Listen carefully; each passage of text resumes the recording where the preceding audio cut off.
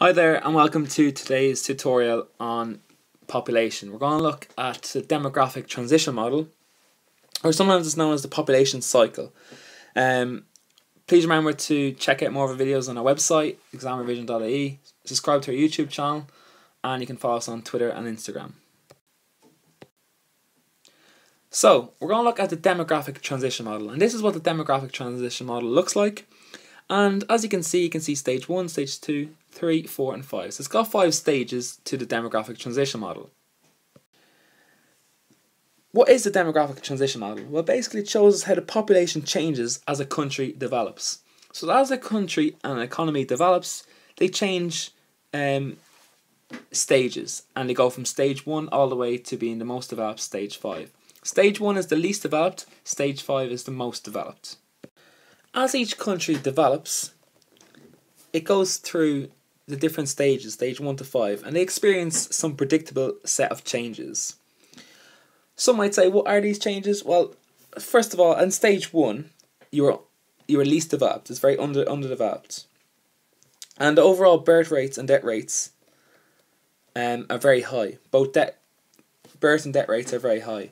In stage 2, the death rates will start to slow down a bit. Okay, so death rates, the green line starts to slow down a bit, but birth rates will still remain very very high.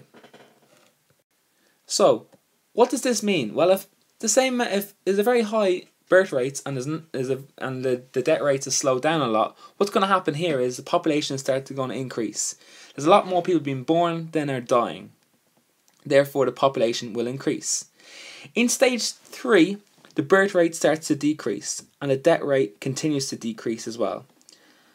Why is this? Well, the improvement in technology, improvement in healthcare and sanitation, um, better medical care, um, and and education as well, and better use of uh, family planning and contraceptive me- methods gives people um, a better understanding, and therefore they have less children and they also less people die. So what happens now is the population still increases, but it's starting to slow down.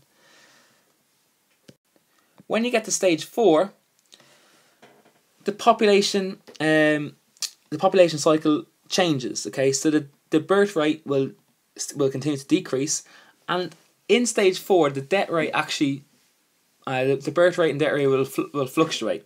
So at certain stages in uh, in times of stage four, you will have an increase in population and also a decrease in population.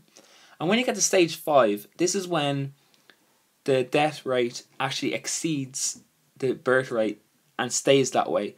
So what happens here in stage five is population starts to de- to decrease. Now it's not very fast; it's a slow decrease. So you can see this line here, which shows when population has increased dramatically, and then we get to about stage five, it starts to slowly decrease.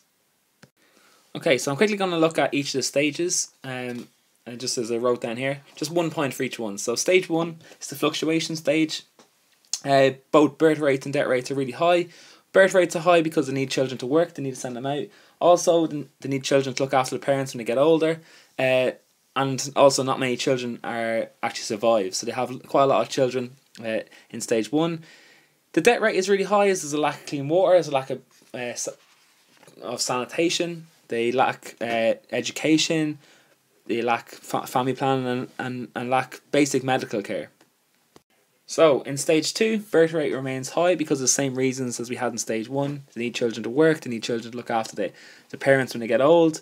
Death rate uh, falls dramatically though. Death rate falls dramatically. Why? Because there's more access to clean water, medical care is improved, and there's a better uh, sanitation. In stage three, the birth rate falls um, dramatically. This is because the improvement of technology, such as helping out in the farms, machines and tractors can, can do the work, so they don't need to have as many children.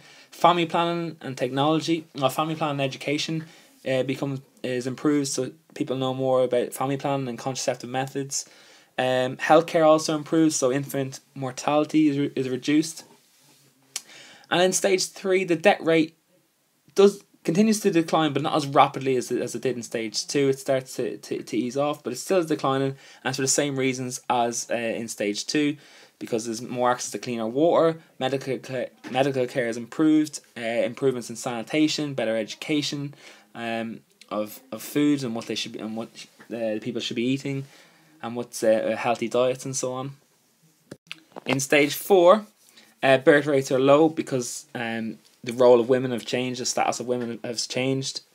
Women are now working from uh, outside the home. They're not. They, they don't uh, using. They're not focused on that traditional role of just looking after the children. Um, there's more family planning. Um, be- they're better educated, and some ch- some women are just leaving uh, having children until later on in life, so they don't have as many children. Uh, the death rates are also low because of excellent medical service, improved technology, and overall better um, sanitation and access to, cl- to clean water. On the very last stage, stage 5, you can see that the population is starting to decrease.